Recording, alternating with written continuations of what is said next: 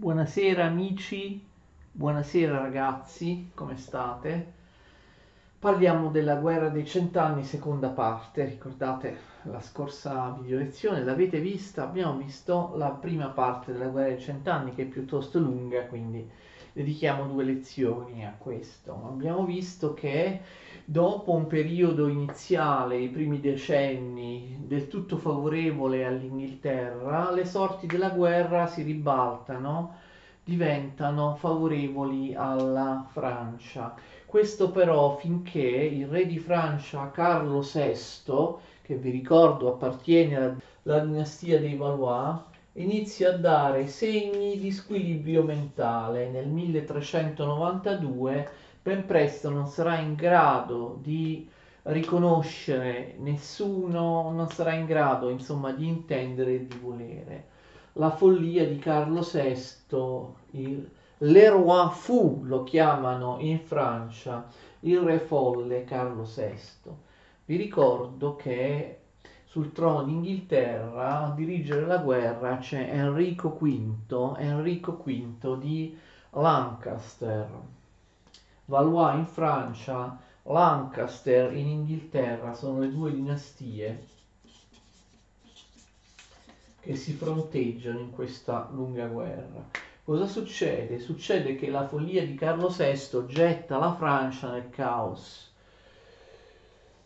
i più eminenti signori della Francia, gli aristocratici più importanti, anche i parenti del re, invece di trovare una soluzione unitaria, anche perché si trattava di un periodo di emergenza, c'era la guerra con gli inglesi sul territorio francese, invece di trovare una soluzione unitaria si dividono, nessuno dei grandi aristocratici se la sente si sente di, la, di prendersi la responsabilità di deporre il re folle Carlo VI, si dividono e scoppia una guerra civile per la successione a Carlo VI.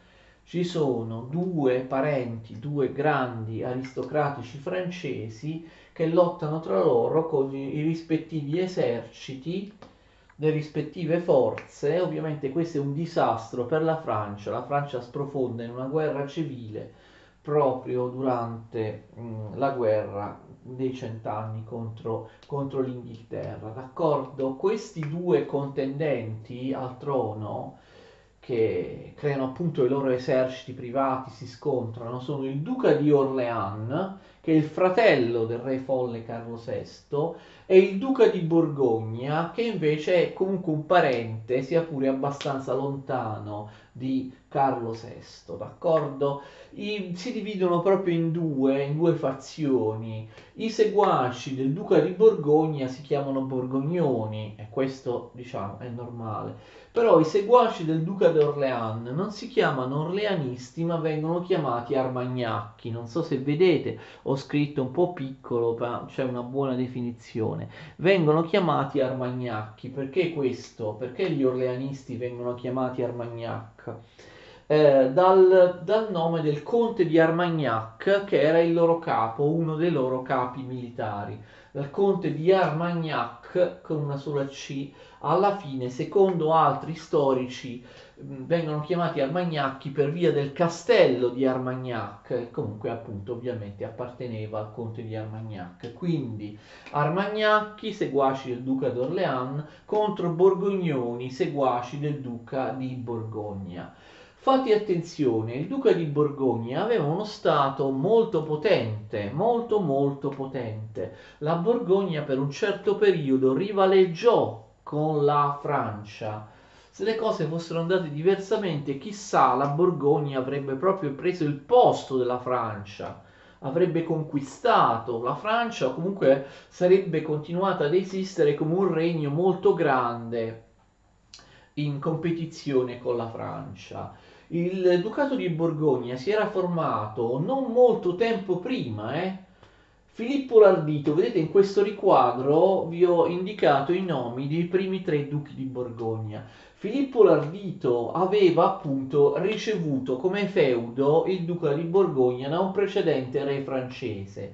Filippo Lardito, il primo duca di Borgogna dal 1363 al 1404, quindi abbiamo visto che in realtà è lui no, a, che inizia la guerra civile, cioè è lui il primo, duca, il primo duca di Borgogna che si scontra con il duca d'Orléans.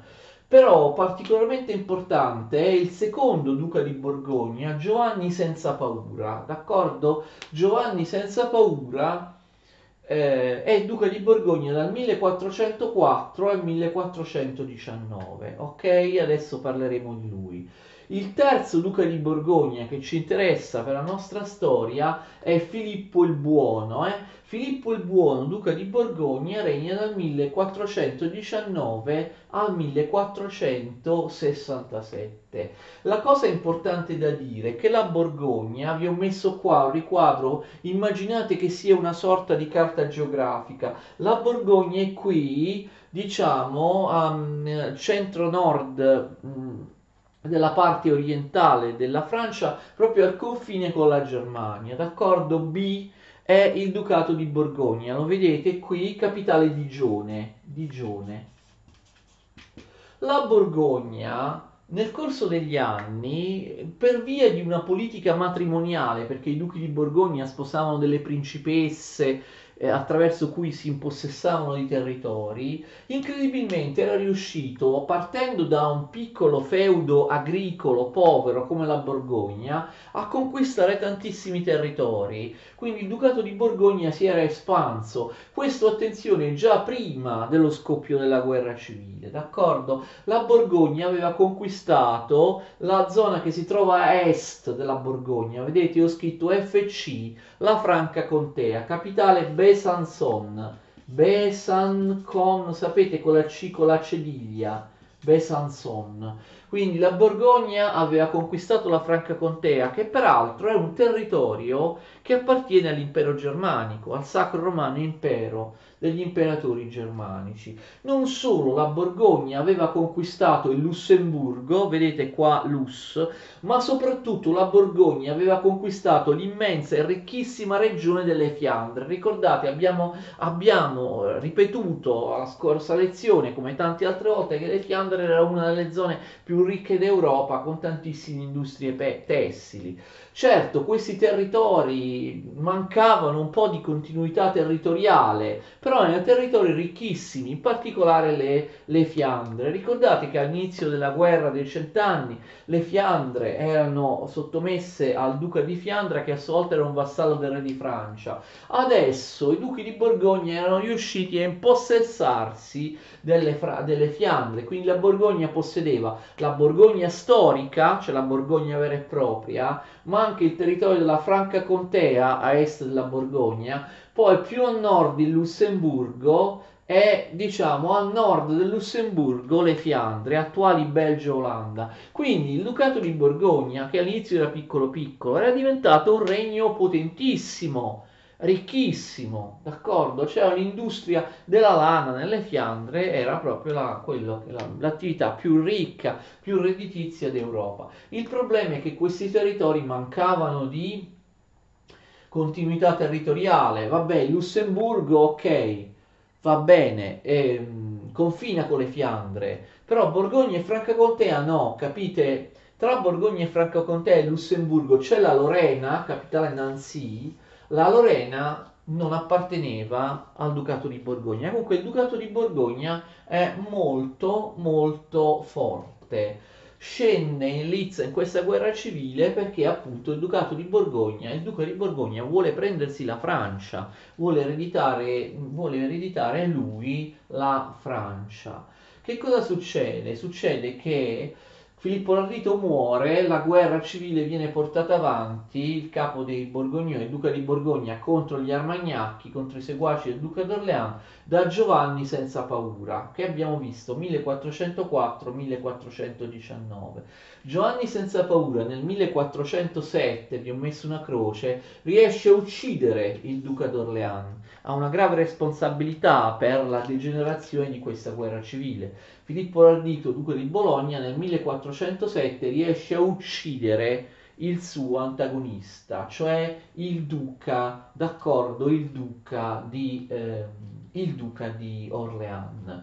Ovviamente questa guerra civile eh, indebolisce, devasta la Francia ed è un grande, un grande, grande, un grande aiuto, una grande opportunità nella guerra per l'Inghilterra, d'accordo? Nel 1415 per l'ennesima volta, ricordate che era avvenuto ben due volte in passato, nel 1415 per l'ennesima volta un esercito inglese sbarca sul suolo francese, d'accordo? Nel 1415. La Francia, guidata dal, dal re folle, accetta la battaglia in campo aperto. Ricordate che prima del re folle Carlo VI, il precedente re Carlo V, fece, um, fece, propendere le sorti della guerra per la Francia non accettando scontri in, car- in campo aperto. E invece abbiamo la battaglia, la battaglia di Azincourt, d'accordo? Eh, Azincourt si scrive Azincourt, si legge Azincourt. La battaglia di Azincourt è anch'essa esattamente identica a quelle di Crécy e di Poitiers. Vi ricordate nella lezione precedente? I soliti arcieri inglesi infilzano i cavalli della nobiltà francese che poi eh, cadono da cavallo, vengono uccisi dalla fanteria inglese, insomma è un vero e proprio disastro, ma è proprio una fotocopia identica di due battaglie che la Francia aveva già perso nella prima fase della guerra. Ricordate, Crécy e Poitiers. C'è questa disastrosa sconfitta di Azincourt, la situazione della Francia si fa molto molto difficile. Si fa difficile anche perché abbiamo un vero e proprio tradimento da parte del duca di Borgogna nei confronti del re, eh, del re di Francia. È vero che il re di Francia è pazzo, Carlo VI, però insomma si tratta comunque di un tradimento. Che succede? Giovanni senza paura, fate molta attenzione, muore nel 1419, ok? Il nuovo duca di Borgogna, come abbiamo visto, è Filippo il Buono. Regna per un periodo lunghissimo, dal 1419 al 1467. Filippo il Buono rinuncia a pretendere il trono di Francia e passa dalla parte degli inglesi che ovviamente gli hanno promesso ulteriori guadagni territoriali. Quindi la Francia si trova in una situazione gravissima, non soltanto ha perso la grande battaglia di Azincourt 1415, ma quattro anni dopo la potentissima Borgogna con Filippo il Buono si allea col suo nemico, cioè con l'Inghilterra. Per la Francia non c'è proprio nulla da fare. La Francia capitola e nel 1420 firma una pace con l'Inghilterra, un trattato di pace veramente umiliante, il trattato di Troyes. Attenzione, si scrive Troyes con la Y, però si legge Troyes. D'accordo? Il trattato di Troyes. Il trattato di Troyes è umiliante e devastante per la Francia. Cosa dice il trattato di Troyes? Che Enrico V, no, il re d'Inghilterra, Enrico V, diventa il reggente di Francia. Cioè, praticamente, Enrico V, qual è la scusa? perché Enrico V possa diventare reggente di Francia. Capite? Il reggente di Francia al posto del re folle Carlo VI. Cioè Carlo VI affida il regno di Francia al re d'Inghilterra. Enrico V. La scusa qual è? Enrico V ha sposato una principessa francese, d'accordo? Una figlia del re Carlo VI. E quindi voi sapete che per via femminile ricordate la legge salica non avrebbe potuto ereditare il trono. È una cosa molto discutibile Non solo, ma come vedremo, Carlo VI aveva un figlio maschio, quindi è una cosa molto discutibile che Carlo VI in qualche modo disconosca suo figlio, lo diseredi e in qualche modo, capite, adotti, adotti come figlio Enrico V Lancaster, il re d'Inghilterra. Ma così succede. Enrico V naturalmente è solo una scusa che non ha un vero fondamento giuridico, il matrimonio di Enrico V con la principessa francese è il fatto che l'Inghilterra ha vinto in battaglia, la Francia è ormai, è ormai sottomessa. Nel 1420 il Trattato di Troyes stabilisce che Enrico V d'Inghilterra diventa il reggente a Parigi del Regno di Francia e stabilisce incredibilmente, attenzione, che alla morte di Carlo VI, re folle, Enrico V di Lancaster re d'Inghilterra diventerà re di Francia. Queste sono le condizioni disastrose del Trattato di Troyes. Quindi il re d'Inghilterra, il regno d'Inghilterra sembra essere a un passo dall'ottenere l'obiettivo, ricordate, che aveva fatto scoppiare la guerra all'inizio, cioè ricordate la successione del regno del re d'Inghilterra sul trono di Francia. Enrico V, in base al trattato di Troyes, avrebbe, avrebbe avuto bisogno solo di aspettare la morte di Carlo VI, poi avrebbe ereditato la Francia. D'accordo? Quindi l'obiettivo iniziale del re d'Inghilterra, di un altro re d'Inghilterra, ve lo ricordate? Ma comunque in generale del re d'Inghilterra, chiunque sia, quello di unire l'Inghilterra e la Francia, di far sì che il re d'Inghilterra diventi anche re di Francia, si sta apparentemente per realizzare. Fate attenzione, poco dopo il trattato di Troyes succede, attenzione, che sia il re folle Carlo VI, sia il re Enrico V d'Inghilterra Lancaster muoiono, d'accordo? Muoiono quasi contemporaneamente. Che cosa succede allora? Carlo VI e Enrico V sono morti quasi contemporaneamente. Viene eh, viene messo in pratica, viene applicato il trattato di Troyes, sì, viene applicato nel 1422, semplicemente che eh, eh, semplicemente al posto di Enrico V che è morto, capite, viene proclamato re di Francia suo figlio, cioè Enrico VI di Lancaster.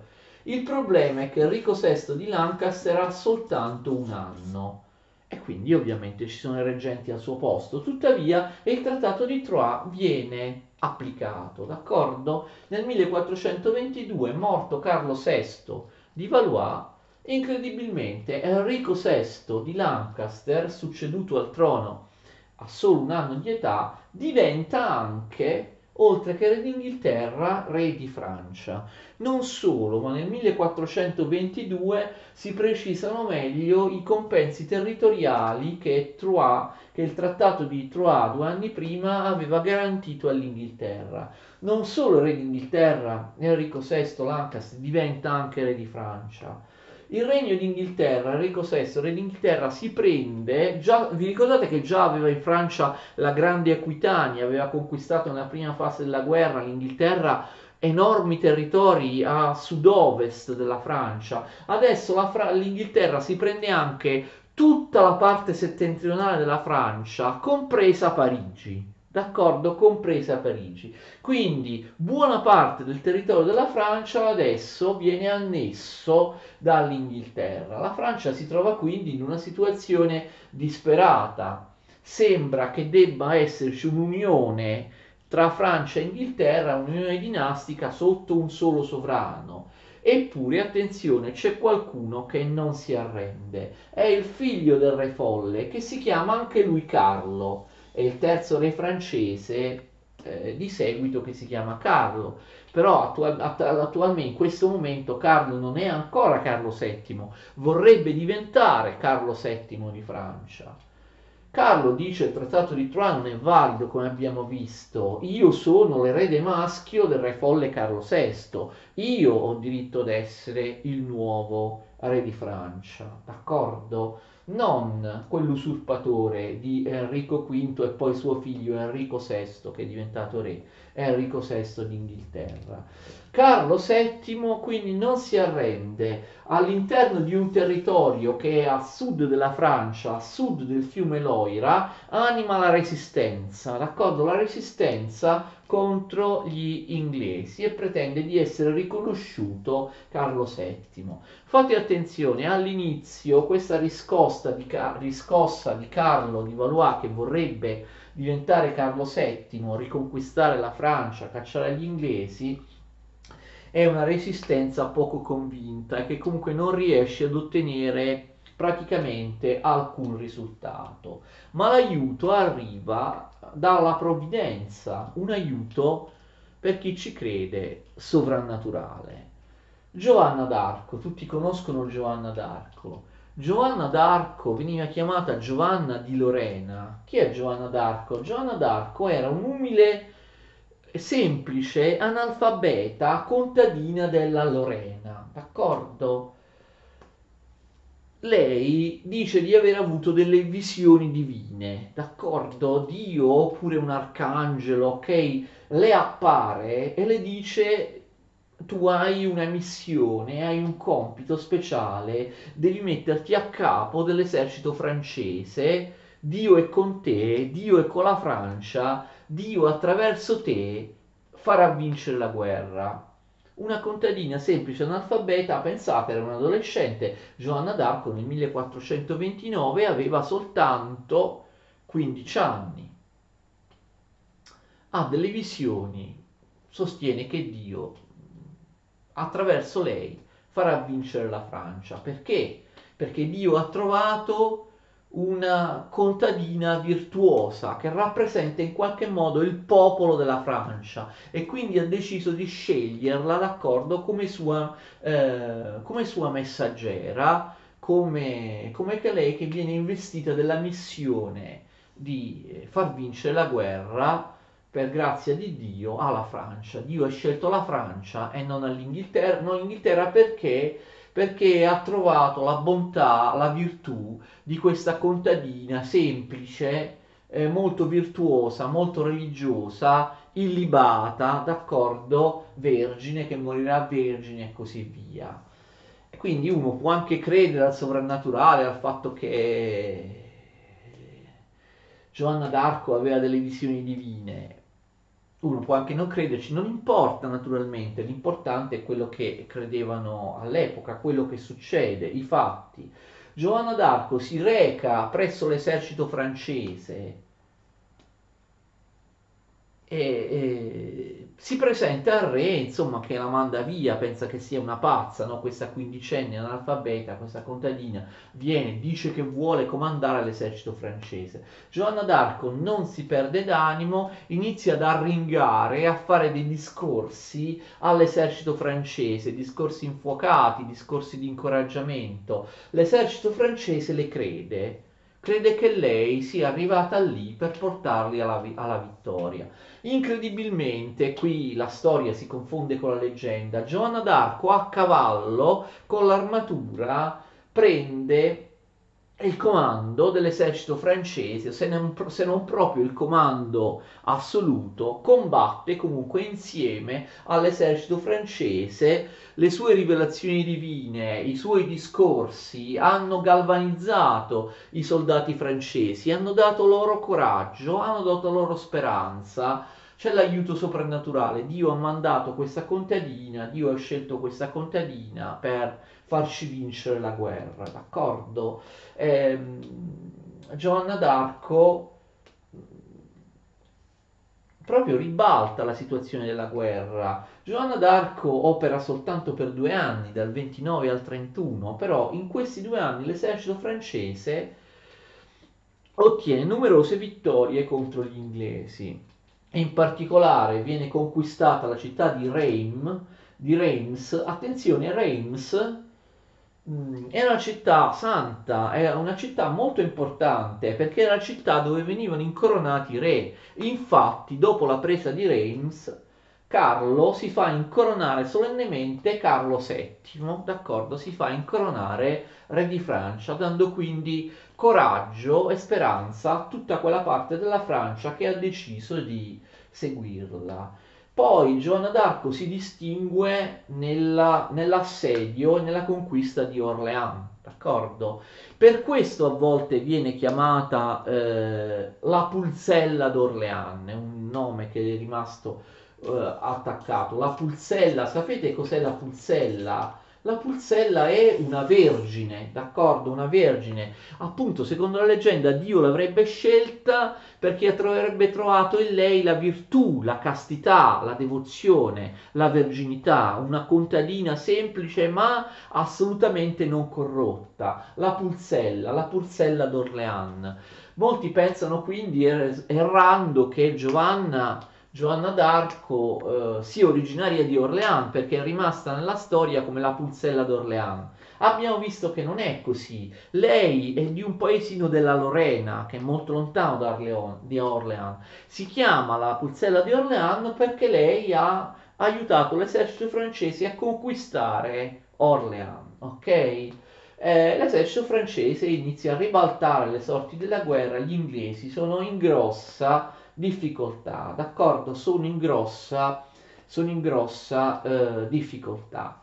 Succede però che Giovanna d'Arco sia catturata dagli inglesi nel 1431 e a soli eh, 17 anni viene bruciata sul rogo con l'accusa di essere una strega. Naturalmente gli inglesi volevano semplicemente liberarsi di una figura simbolica che insomma stava portando la Francia alla riscossa. Quindi gli inglesi la bruciano viva a 17 anni soltanto, finisce l'avventura di Giovanna d'Arco che comunque secondo molti o secondo la leggenda sarebbe stata proprio l'elemento fondamentale che spiega la vittoria finale della, eh, della Francia, d'accordo? E mm, naturalmente è vero, è falso, al di là del soprannaturale, Giovanna d'Arco è davvero una figura leggendaria di cui si sa poco. Ci sono storici che sostengono che non, non sarebbe mai esistita, ci sono altri, quindi sarebbe una figura proprio mitica. Ci sono altri storici che sostengono che la vera Giovanna d'Arco fosse un'aristocratica, che Giovanna d'Arco poi appunto eh, guida l'esercito francese a cavallo, ma un'umile contadina non sapeva cavalcare, però se crediamo al soprannaturale può essere tutto accettabile. Lei miracolosamente si mette sul cavallo e sa cavalcare, ok? Secondo alcuni quindi sarebbe stata un'aristocratica e non una contadina. Secondo altri, appunto, secondo altri anche addirittura non sarebbe mai stata catturata e bruciata dagli inglesi, sarebbe morta e secondo alcuni storici mm, ci sarebbe anche la tomba, se, se, alcuni storici indicano una tomba dicendo che è quella di Giovanna d'Arco, quindi la faccenda non è chiara, potrebbe anche non essere esistita, potrebbe una, essere una storia che è stata uh, modificata, d'accordo, che è stata trasformata. Tuttavia non è importante questo, importante è proprio la figura leggendaria di Giovanna d'Arco. Che sia vero o meno, che sia vera o meno tutta la storia non importa. Giovanna d'Arco è un simbolo che diventa una leggenda, è una figura archetipica. Sapete che vuol dire una figura archetipica? È un archetipo, un simbolo, rappresenta la Francia. L'idea è che la Francia abbia salvato la propria indipendenza, la propria esistenza, riuscendo a sconfiggere l'Inghilterra che invece stava vincendo fino a poco tempo prima, eh, grazie a Giovanna d'Arco, grazie a questo intervento soprannaturale, d'accordo? Giovanna d'Arco infatti sarà assunta a simbolo della Francia non proprio da tutti i francesi, ma dalla parte diciamo più cattolica, più tradizionalista, più conservatrice. Giovanna d'Arco rappresenta l'idea che la Francia diventa un paese nazionale moderno, si libera degli inglesi, vince la guerra, perché? Perché l'ha voluto Dio, cioè la Francia moderna si costituisce, sorge in base a una scelta che Dio ha fatto, la scelta di favorire la Francia, di farla vincere in questa guerra, scegliendo la Francia e non l'Inghilterra essendo stato colpito Dio dalla purezza, dalla virtù, dalla castità di questa, di questa pulzella. Quindi la Francia quali radici profonde avrebbe avuto, d'accordo? Le radici del cattolicesimo, dell'intervento divino, quindi molti dicono appunto la parte conservatore cattolica della Francia, la vera Francia, la nascita della Francia è la Francia delle cattedrali, delle cattedrali gotiche, la Francia che appunto è nata grazie a un miracolo, a un intervento soprannaturale, quindi la Francia sarebbe strutturalmente un paese cattolico, un paese che si afferma come monarchia nazionale moderna grazie all'intervento divino, d'accordo? Giovanna d'Arco non è un simbolo di tutti i francesi, e Giovanna d'Arco diventa un simbolo della Francia, soprattutto di una parte della Francia, soltanto nell'Ottocento, perché viene esaltata come tale, come simbolo della Francia, eh, dai nazionalisti ottocenteschi, d'accordo? Da alcuni personaggi, da alcuni politici o da alcuni scrittori del 1800. Tuttavia c'è anche una parte della Francia che non ha mai amato Giovanna d'Arco, la Francia laica, la Francia illuministica, la Francia della rivoluzione francese. Per loro, per, questi, per, questi, per questa parte della Francia, Giovanna d'Arco è un simbolo da rigettare, perché appunto è un simbolo soprannaturale, è un simbolo, è l'emblema in qualche modo del, del, cattolicesimo, di Dio. Ovviamente la parte laica della Francia non accetta che le radici della Francia possano essere sovrannaturali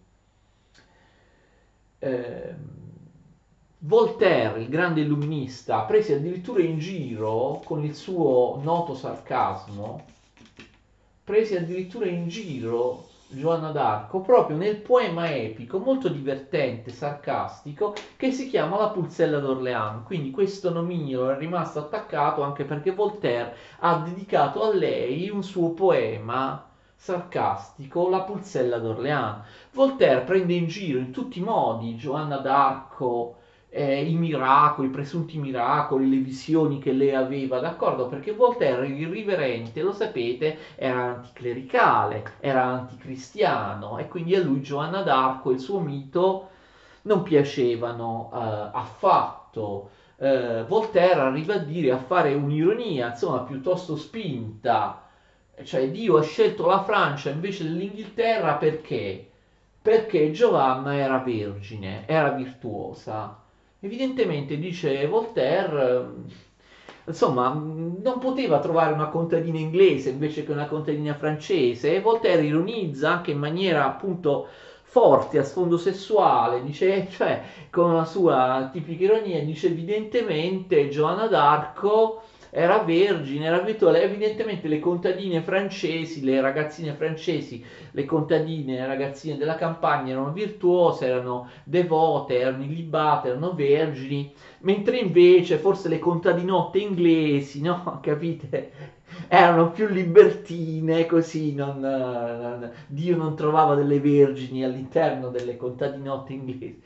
Vabbè, ovviamente è, è, l'ironia di, è, l'ironia di, Voltaire che però prende in giro Giovanna d'Arco, tutta la sua vicenda e tutti i suoi sostenitori, tant'è che Voltaire fu odiato, già, già lo era per tanti altri motivi, l'irreverente Voltaire ovviamente fu odiato dalla maggior parte della Francia perché osava, capite, ironizzare, prendere in giro, dissacrare offendere e insultare un simbolo della Francia cattolica tradizionale, appunto Giovanna. Comunque Giovanna è un archetipo, è un simbolo della nascita della Francia come vero Stato moderno, come forte monarchia nazionale.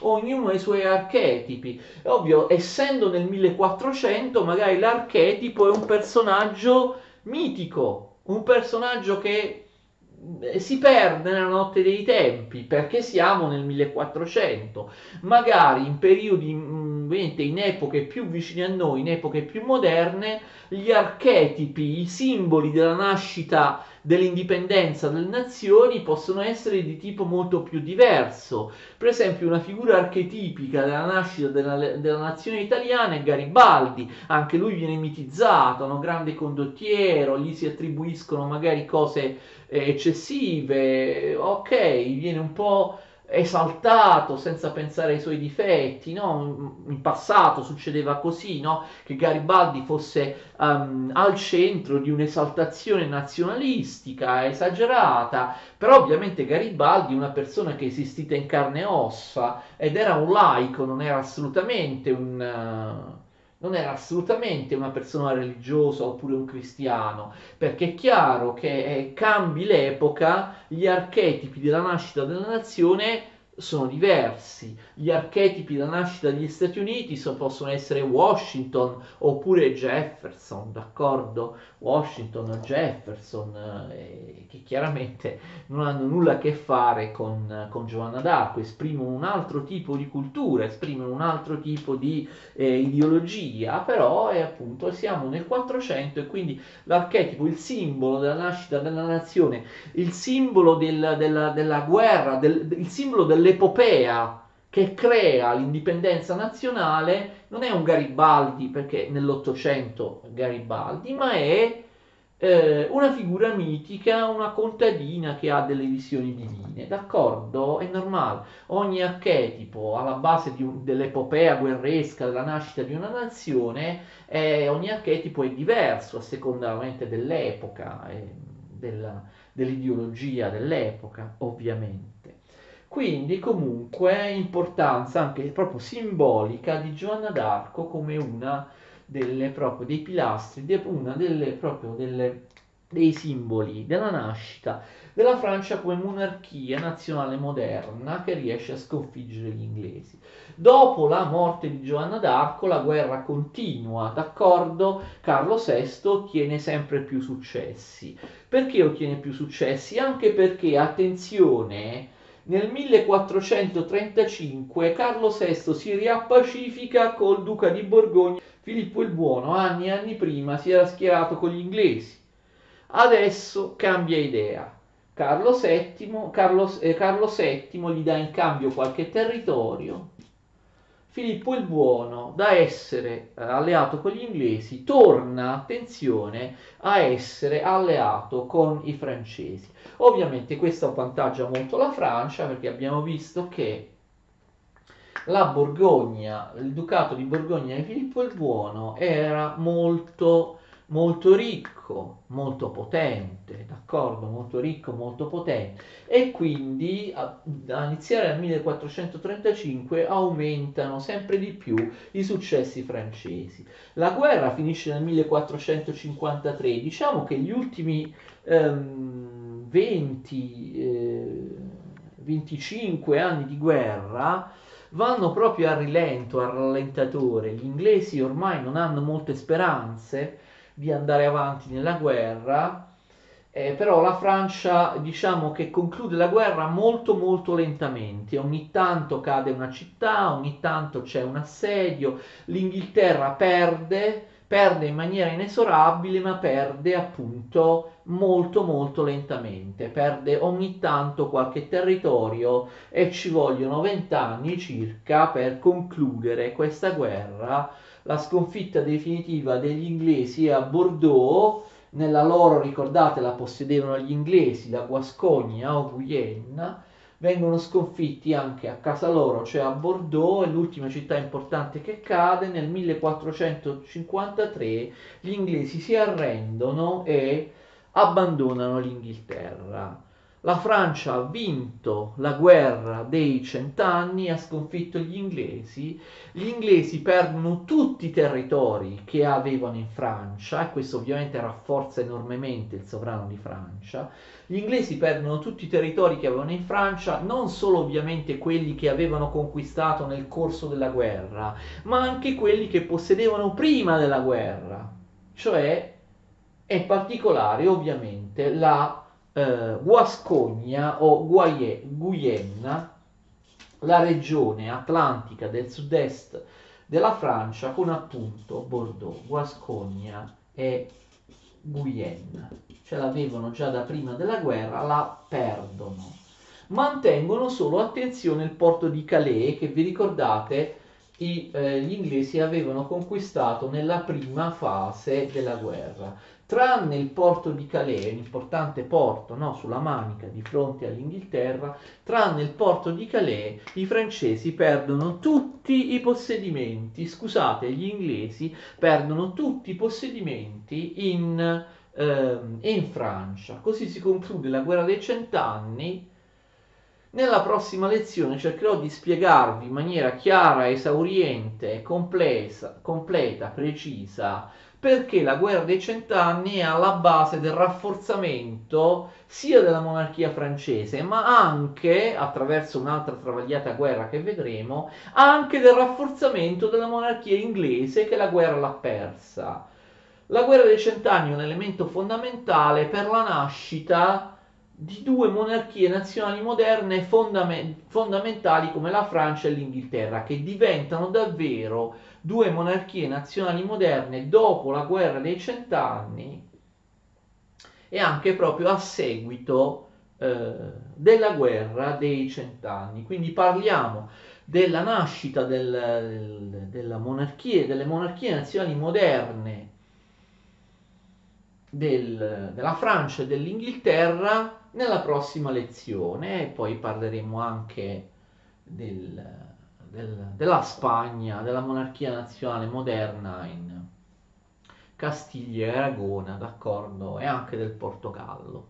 Quindi continuate a seguirmi dopo la guerra dei cent'anni, la formazione la nascita come monarchie nazionali moderne di quattro stati importantissimi dell'Europa occidentale, Portogallo, Spagna, Inghilterra e Francia. Vi saluto per ora, grazie a tutti e arrivederci.